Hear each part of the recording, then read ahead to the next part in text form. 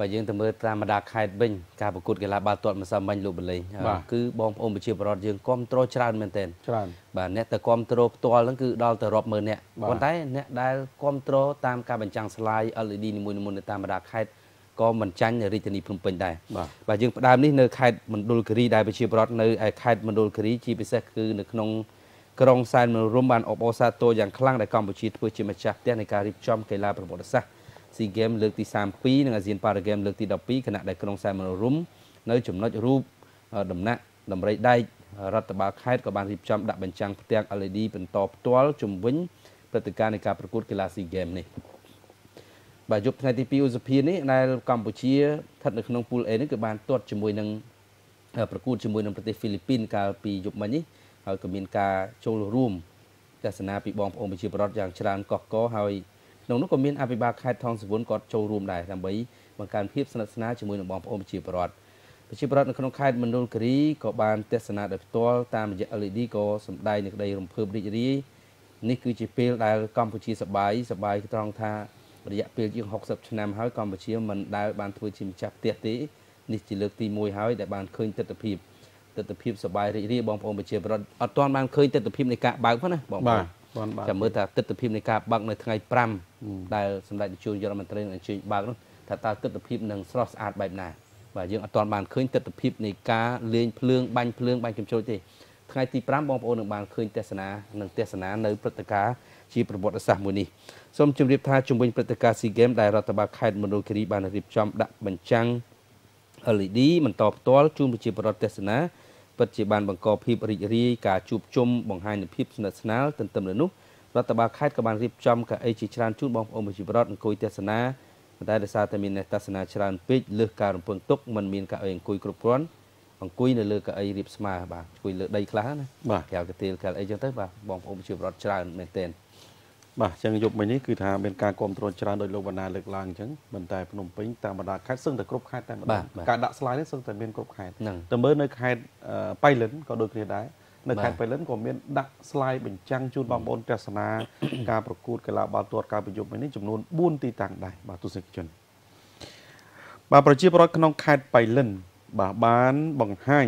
បាទយើងទៅកាន់ព័ត៌មាននៅខេត្តបៃលិនអឺ បានបង្ហាញពីមោទនភាពនិងភាពសប្បាយរីករាយក្រោយរដ្ឋបាលខេត្តបានរៀបចំដាក់បញ្ចាំងស្លាយបាទក្នុងរាត្រីបាទថ្ងៃទី2ខែមេសាឆ្នាំ2023ដែលការផ្សាយផ្ទាល់រវាងកម្ពុជានិងហ្វីលីពីនកញ្ញាជាលៀងហេងជាប្រជាពលរដ្ឋម្នាក់រស់នៅក្នុងភូមិវត្តសង្កាត់បៃលិនក្រុងបៃលិនបានបង្ហាញអារម្មណ៍រំភើបសប្បាយរីករាយនៅពេលដែលកម្ពុជាទទួលធ្វើជាម្ចាស់ផ្ទះការប្រកួតកីឡាស៊ីហ្គេម បាទក្នុងនោះដែរកញ្ញាក៏បានថ្លែងអំណរគុណថ្នាក់ដឹកនាំនៃរដ្ឋបាលខេត្តបៃលិនដែលបានរៀបចំឲ្យមានការបញ្ចាំងបញ្ចាំងស្លាយនាពេលនេះចំណែកលោកផលឧត្តមមន្ត្រីរាជការម្នាក់ដែលធ្វើការក្នុងខេត្តបៃលិននិងជាអ្នករស់នៅក្នុងខេត្តបៃលិនបានថ្លែងអំណរគុណរដ្ឋបាលខេត្តដែលបានរៀបចំបញ្ចាំងស្លាយផ្សាយបន្តផ្ទាល់នៅពេលនេះថែមទាំងបានឧបត្ថម្ភនៅទឹកពិសាដោយឥតគិតថ្លៃថែមទៀតផងបាទមកទស្សនាបានទឹកបាទពិសាដែរ រីឯលោកហុកសុផលអភិបាលរងខេត្តបៃលិនបានប្រាប់ឲ្យដឹងដែរថាយោងតាមប្រសាសន៍របស់សម្ដេចតេជោនាយករដ្ឋមន្ត្រីកាលពីថ្ងៃទី25ខែមេសាឆ្នាំ2023រដ្ឋបាលខេត្តបៃលិនដែលមានលោកជំទាវបានស្រីមុំជាអភិបាលខេត្តបានរៀបចំដាក់បញ្ចាំងស្លាយដើម្បីចាក់ផ្សាយបន្តផ្ទាល់ការប្រកួតកីឡាអាស៊ីអាគ្នេយ៍បានលើកទី32ក្នុងនាមកម្ពុជាធ្វើជាម្ចាស់ផ្ទះជូនបងប្អូនទស្សនាលោកបានបន្តថារដ្ឋបាលខេត្តបៃលិនបានប្រកាសជូនសាធារណជនទាំងអស់មកទស្សនា ដើម្បីបង្កើតនៅបរិយាកាសសប្បាយរីករាយជូនបងប្អូនប្រជាពលរដ្ឋនិងសាធារណជនដែលស្រឡាញ់និងគ្រប់គ្រងវិស័យកីឡាដោយរដ្ឋបាលខេត្តសហការជាមួយមន្ទីររដ្ឋបាល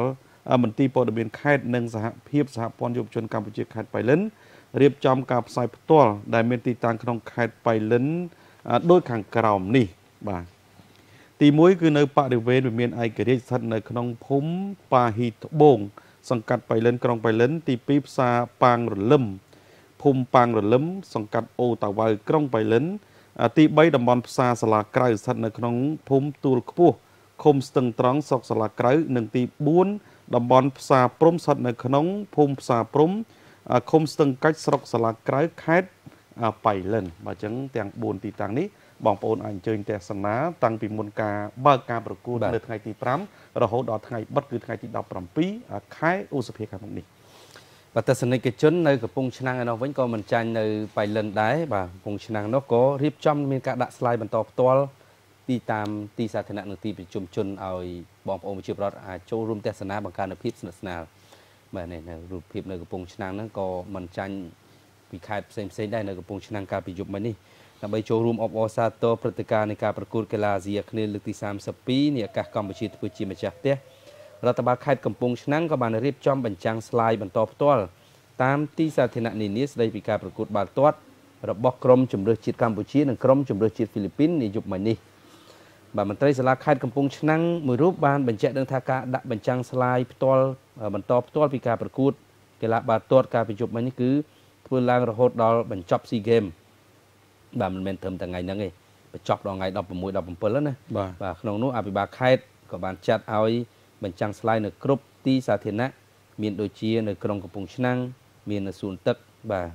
អាដាមបណ្ឌិតសុភាចាអុក្រាប៊ុននិងសួនវិមានឯករាជ្យហើយដល់ឡែកនៅតាមបណ្ដាស្រុកចំនួនទាំង7ដូចជាស្រុកបរិបូរកំពង់លែងសាមគ្គីមានជ័យទឹកផុសជុំនឹងជលគិរីក៏ដាក់បញ្ចាំងស្លាយបន្តផ្ទាល់សម្រាប់បងប្អូនប្រជាពលរដ្ឋទស្សនាដែរប្រ ជាពលរដ្ឋដែលបានចូលរួមទស្សនាក៏សម្ដែងទឹកចិត្តរីករាយរំភើបរីករាយបាទមើលបាល់ទាត់មួយយ៉ាងហើយក៏ប៉ុន្តែមកជួបជុំគ្នាចេះក៏សប្បាយមួយយ៉ាងដែរលោកបណ្ឌិតសប្បាយហ្នឹងហើយ